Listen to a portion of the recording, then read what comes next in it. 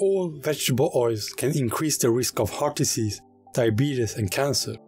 But if you avoid all vegetable oils or fats from dairy products, you can reduce your risk of cancer and many other diseases. In this video, you'll learn why vegetable oils are bad for your health. And then you're going to find out how to cook without using oils. So let's begin. Vegetable oils come from whole foods. During the manufacturing process, their producers separate the oil from vegetables, nuts or seeds. So they do it in two ways. Either by heating up the produce and then squeezing out the oil, or by using a mechanical process. This process is a lot slower than heating up the crop and yield less oil. Refined vegetable oils start from the seeds of various plant sources. There are many different kinds of commercially refined vegetable based oils. These include canola or rapeseed oil, soybean oil, corn oil, sunflower oil, safflower oil, peanut oil, or more. Manufacturers create refined oils by using intensive mechanical and chemical processes. These methods remove the natural nutrients from the seeds. The refined oils are chemical products and are not health foods. Oils are excessive fats that your body doesn't need. The body uses fat primarily for energy storage when there's no food or energy source available. Cholesterol is part of many critical cellular functions. The body produces all the cholesterol and fats it needs, so both are part of a healthy body. Plants already contain enough essential fatty acids. Too much dietary fats make people overweight and creates a lot of health problems. Side effects include heart disease, cancer, and diabetes. Most popular oils like canola, olive, or flaxseed oil have low burning points. So when you cook with these oils, you're damaging the oils and create free radicals. Free radicals destroy your health and weaken your body. Oxidation is a natural process that nature uses to break down food. So the air reacts with compounds in vegetables or fruits and decomposes them. So whole foods have fiber that protects the vegetables or fruits from too much oxidation. So when you separate the liquids from plants, you expose the nutrients to oxygen. Vegetable oils contain polyunsaturated fats. These fats oxidize easily through heat and light. Prolonged exposure to air deteriorate the vital enzymes and nutrients in juices and oils. The extraction of oils remove all the other ingredients of the whole food. Oils have no longer the proteins, carbohydrates, vitamins or minerals from the whole food. When we remove these nutrients, the oils are no longer food. Oils supply concentrated calories but nothing else from the plants. They are the most calorie dense substance you can eat. Oils clog arteries which lead to heart disease and the risk of cancer. Trans fats are another risk factor in vegetable oils. So you can find it in refined oils but mostly in margarine. Vegetable oils are the primary base of margarine. Margarine may contain soybean oil, canola oil, sunflower oil or other vegetable oils. Trans fats are human-made fatty acids formed during the process of hydrogenation. So hydrogenation turns liquid vegetable oils into solid fats. It makes margarine solid at higher temperatures. Animal fat and hydrogenated oils are the biggest sources of trans fats. Trans fats increase one's risk of heart disease, sudden death and diabetes. So there's no safe levels of trans fats. The body cannot process these formed particles. That is the reason why man-made trans fats are so damaging to the body. The safest way to avoid trans fats is to eat a vegan diet without any added oils. Vegetable oils in french fries elevate the cancer risk. Acrylamide in fries can lead to endometrial, ovarian and lung cancer. Many of us have heard that you need omega-3 from fish oils. But fish oil is also a processed food and is unhealthy. While it contains omega-3, it also includes other unhealthy fats. One such fat is saturated fat. Saturated fat damages the arteries and causes heart disease and stroke. Fish get their omega 3 from plants. 1 to 2 tablespoons of ground flax seeds are enough to meet your daily need of omega 3. But what about extra virgin olive or coconut oil? Aren't they supposed to be healthy? Extra virgin olive and coconut oil use mechanical processes to produce oils, so they seem to be healthier. But they are junk food as much as white sugar is. So why does everyone say that sugar is harmful? White sugar is toxic because it contains empty calories. Producers take sugar canes or sugar beets into a long chemical process. So the end product is a bleach chemical junk food. So there's no essential amino acids, fats, vitamins, minerals or fiber. It does supply some carbohydrates but nothing else.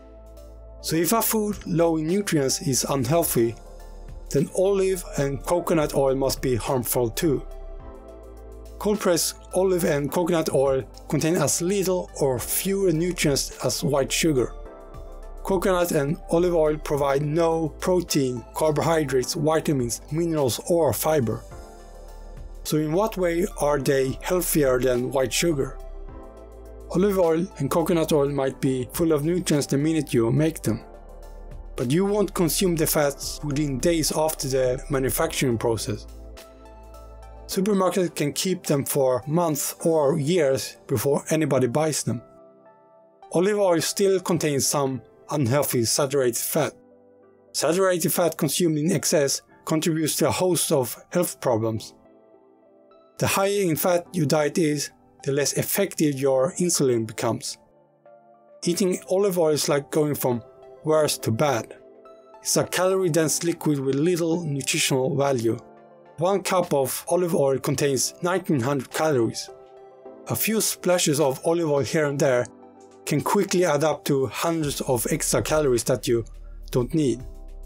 But what about people on the Mediterranean diet? They had less heart disease than people on the standard American diet, even if they used olive oil. But you also have to remember that they also ate more vegetables than the SAD diet, and they consumed more bread, fruit, and ate less meat, butter, and cream. So improvements were because of eating more plants and fewer animal products.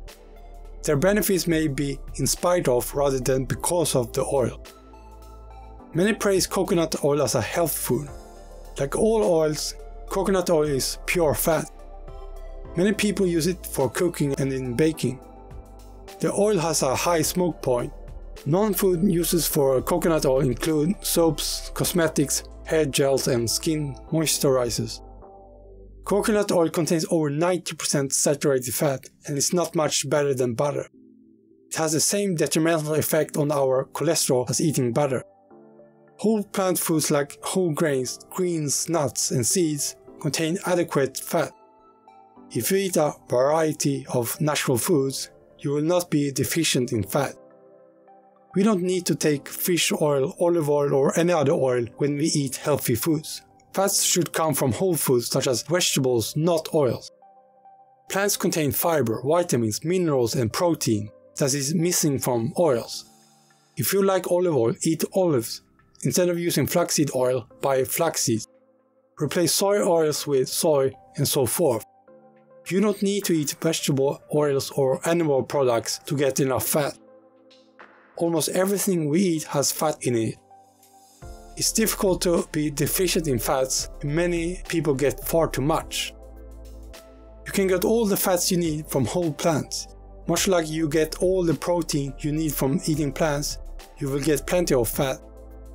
Adding vegetable oils can prevent you from succeeding on a vegan diet. The best diet to eat is a whole food, high carb, low fat diet. Avoid all animal products, including eggs and dairy. And remember that the fat you eat is the fat you wear. Doesn't matter if the fat comes from oils, animal products, or high fat foods. Cooking without oils is not hard. Here are 6 quick tips on how to prepare food without using fats. One way to fry without oil is to replace it with water. Use enough liquid so that the food doesn't stick. Another way to succeed is to buy a good non-stick pan. Use one with a non-toxic ceramic coating or something similar. A second way to cook without oil is to buy waterless cookware. This cookware cooks the vegetables in their own liquid.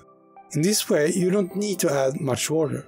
The benefit of this method is that you don't have to pour the nutrients down the drain. You can also steam your vegetables instead of frying. A fourth way to cook without oil is to use a pressure cooker.